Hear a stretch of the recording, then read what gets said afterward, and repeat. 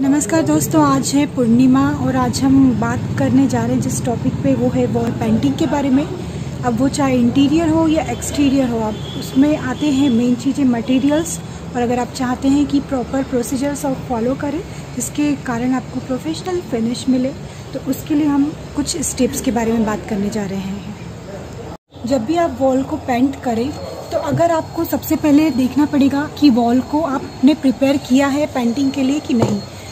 इसका मतलब ये हुआ कि अगर आपको कुछ क्रैक्स दिख रहे हैं, या फिर अगर उसमें डर्ट है, या फिर शाइनिंग नहीं है, या फिर परत निकल रही है, या फिर अगर लूज प्लास्टर है तो सबसे पहले आपको मार्केट से हार्डवेयर की शॉप से सैंड पेपर लेना होगा, जिसकी सहायता से आपको वॉल को इस तरह से अच्छी घिसाई करनी पड़ेगी, पूरे वॉल की। अगर आप चाहते हैं कि आपका जो भी आप पेंट कर रहे हैं, चाहे आप रॉयल पेंट लें या एशियन पेंट की कोई भी लें या कितना भी ब्रांडेड पेंट लें, वो प्रॉपर वर्क तभी करेगा जब उसका बेस अच्छा होगा। उसके लिए ज़रूरी है कि आप जिस सरफेस पे पेंट कर रहे हैं, वो स्मूथ हो, उस पर कोई डर्ट ग्रीस या ऑयल कुछ भी ना हो, उसके लिए सैंड पेपर का इस्तेमाल किया जाता है। इसी सैंड पेपर 180 कहते हैं। तो इसे कहते हैं, सबसे पहला स्टेप है कि आप वॉल सरफेस को प्रिपेयर करें पेंट के लिए।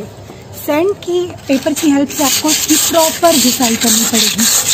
इसमें थोड़ा सा टाइम लगेगा। आपकी अगर जो रूम है बीस बाई बीस फुट का है तो करीबन आपको आधा घंटा इस प्रोसेस में लग जाएगा।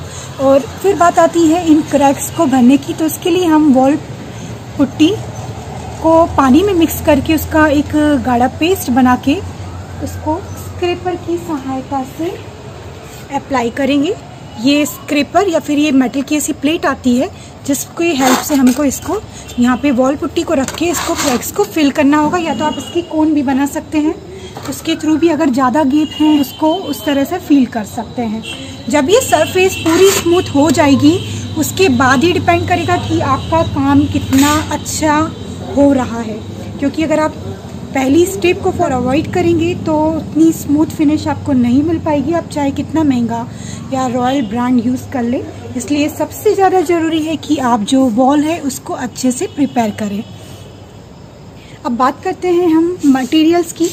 देखिए, जब आप सैंड पेपर से प्रॉपर वॉल्स की घिसाई कर लें वॉल पुट्टी से उसको स्मूथ कर लें, उसके लिए आपको करीबन तीन चार घंटे उसको छोड़ना पड़ेगा।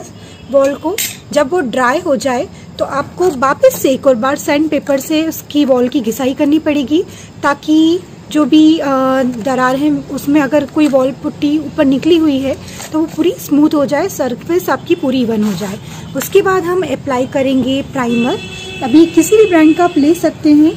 हमने यहाँ पे एशियन पेंट यूज़ किया है। प्राइमर को आपको अप्लाई करने के बाद छः से आठ घंटे के लिए ड्राई होने देना पड़ेगा। उसके बाद हम अप्लाई करते हैं जो वो होता है एक बेस कलर के साथ हम कोई कलर मिक्स करते हैं।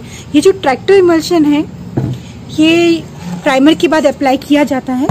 ये दो तरह की इसकी यहाँ पर हमारे पास जो है, दो तरह की क्वांटिटी में उपलब्ध है। एक चार लीटर है, जो कि हमने मार्केट से लिया। इसकी कॉस्ट है फाइव नाइन्टी वन रुपीज़ ये वेरी करेगी प्लेस टू प्लेस या आप कहाँ पे या किस सिटी में, आप किस स्टेट में हैं। या आप ऑनलाइन परचेस कर रहे हैं तो उस हिसाब से भी प्राइजेस इसकी वेरी हो सकती हैं। इसके अलावा ये 10 लीटर की बोतल में भी आता है। और इसकी कॉस्ट है करीबन तेरह सौ पचास रुपए। तो अब इसमें ये एक्चुअल में होता है वाइट कलर ठीक है? ये बेसिकली बेस कलर होता है। ये हमने इसमें कलर मिलाया हुआ है लाइट पिंक शेड मिलाया हुआ है। अभी कलर कैसे बनाते हैं, इसके लिए आपको इस्तेमाल करना होगा ये स्टेनर ये स्टेनर बॉटल्स में भी आता है या फिर आपको वो पॉलिथीन में बना के भी दे सकते हैं हार्डवेयर शॉप पे।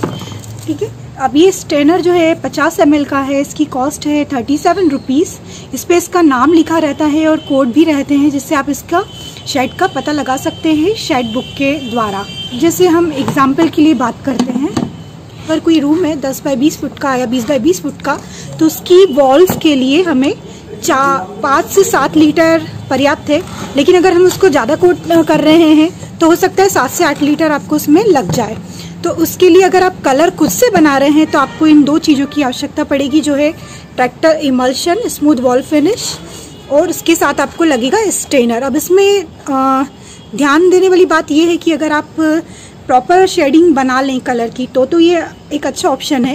लेकिन अगर आप चाह रहे हैं कि आपने बुकलेट में से शेड कोई पसंद किया है और आप चाह रहे हैं कि आप उसको एड ऑन नहीं कर पाएँगे प्रॉपर शेड की कितना मिक्स करना है कलर वाइट में कितना डार्क आपको चाहिए, कितना लाइट चाहिए है तो उसके लिए आप बना बनाए बॉटल्स भी ले सकते हैं जो कि एक लीटर में आती हैं। ये।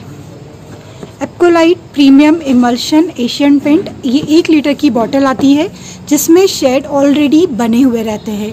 इसमें आपको कोई स्टेनर कोई कलर यूज़ नहीं करना है। इसको आप एज इट इज़ इस्तेमाल कर सकते हैं आफ्टर अप्लाइंग प्राइमर अगर आप प्राइमर इस्तेमाल नहीं करना चाहते हैं, अगर आपको लगता है कि आपके बजट में नहीं है, या फिर आपको लगता है कि वॉल आपकी अच्छी है वॉल पुट्टी से और घिसाई से अच्छी हो गई है तो आप इसको स्किप कर सकते हैं प्राइमर को। अब हम बात करते हैं ये एक शेड है, ये पर्पल ये भी बना बनाया कलर है। अब इसके बाद बात आती है, हम पूरे घर को पेंट करते हैं तो इसके बाद आते हैं विंडोज़ को, कि विंडोज़ को हम कैसे पेंट करें? उसके लिए आता है एशियन पेंट का आपको लाइट प्रीमियम इनिमल ये दो तरह की क्वांटिटी में है।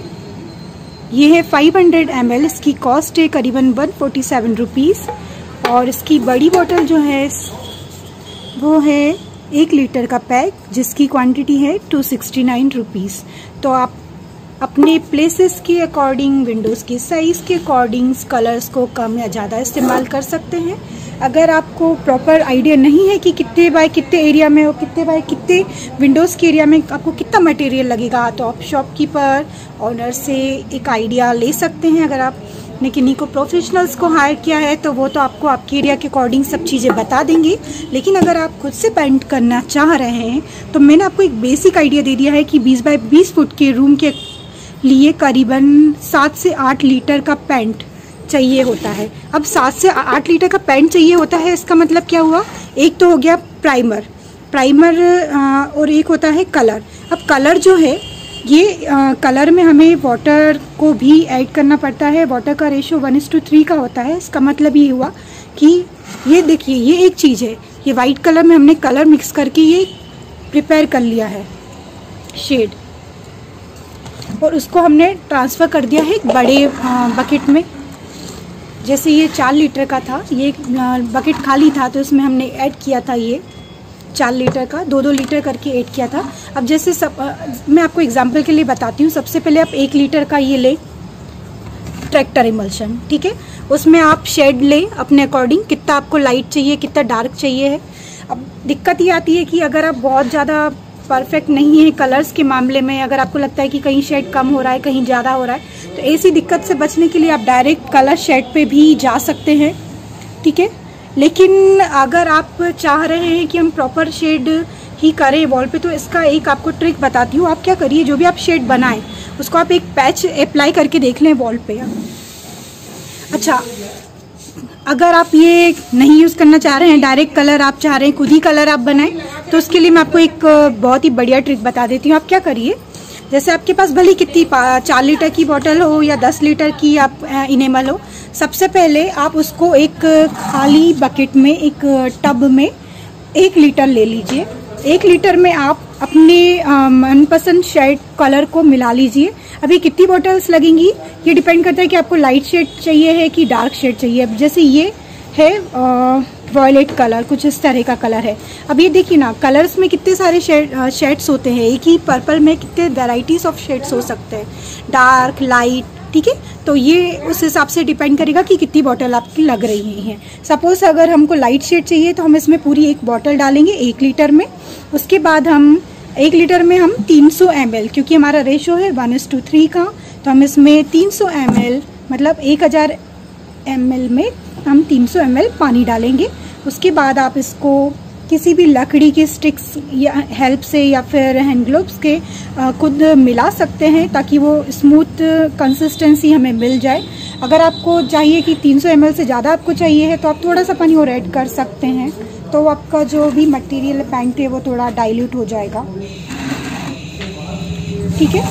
तो इसका ट्रिक ये है कि वही शेड आप दोबारा बना पाएँ तो उसके लिए आप उसको एक बॉटल में रख लें।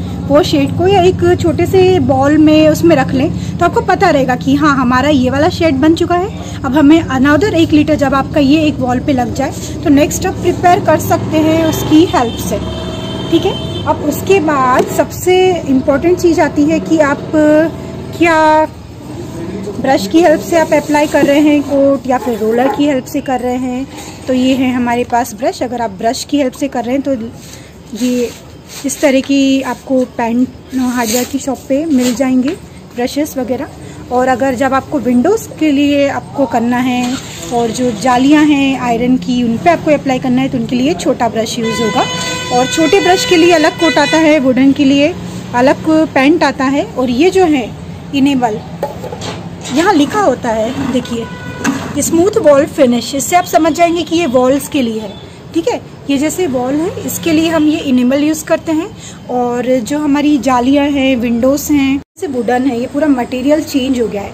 ये वॉल है, इसके लिए हम वॉल इमल्शन यूज़ करेंगे और ये जो वुडन है, इसके लिए हम ये एप्कोलाइट प्रीमियम इनिमल ग्लॉस ये यूज़ करेंगे। ठीक है? अब आप रोलर की हेल्प से भी पेंट कर सकते हैं। और जो भी आपको अगर आप मशीन यूज़ करना चाहते हैं, आपका बजट उस तरह का है तो आप मशीन यूज़ कर सकते हैं।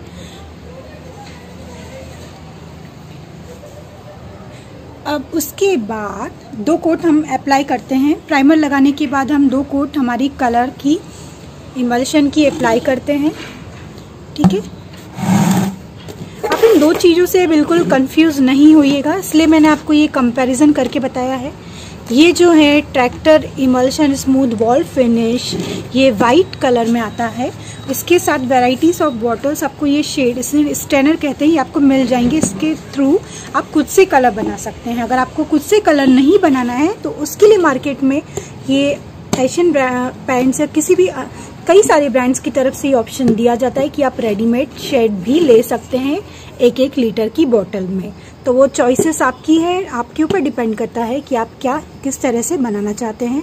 अगर आप स्टेनर यूज़ करते हैं तो उसमें ये फ़ायदा है कि जो भी हमारे वॉल्स पे आउटर लाइंस होती हैं तो उसको आप डार्कर शेड में बना सकते हैं। मतलब एक शेड आपने ये बनाया और आउटलाइन करने के लिए आप इसमें और ज़्यादा बॉटल्स ऐड कर सकते हैं। इसमें आप भी कर सकते हैं तो इसके लिए आपको स्टेनर लेना पड़ेगा अलग से, अगर आप डार्क चाह रहे हैं। तो ये डिपेंड करता है चॉइसेस पे।